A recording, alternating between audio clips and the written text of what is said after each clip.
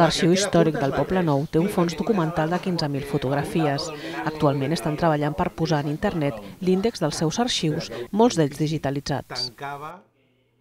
La fotografia i el paper, tot i que és el que la gent busca, és un material molt delicat que cal tocar només en última instància. La gent ens demana, per exemple, documentació sobre una, una fotografia o un fet i aleshores busquem a la base de dades. Quan tenim la fotografia identificada i sabem on la trobarem, només aleshores és quan ens adrecem a l'arxivador, sabem on trobarem la fotografia, obrim, busquem aquesta fotografia, totes les fotografies han d'estar protegides i la trobem. I efectivament la fotografia concorda amb la informació que tenim a l'ordinador L'Arxiu Històric del Poble Nou va néixer l'any 1976 per donar a conèixer la història del barri als seus veïns.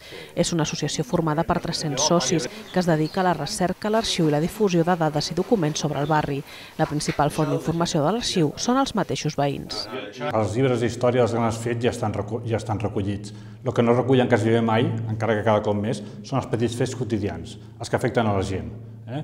Fins i tot, eh, moltes vegades es coneix molt bé o bastant bé una història d'una fàbrica, però tampoc es coneix el propietari de la fàbrica. Ja no, ja no dic els treballadors, però fins i tot el propietari no es coneix la història d'aquest propietari.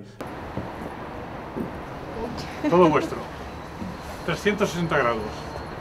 Oh, that. 360 Nunca, nunca has visto Barcelona así. Des de fa un any, l'Arxiu Històric del Poble Nou s'encarrega també de les visites guiades a la Torre del Besòs i la Casa de les Vàlvules.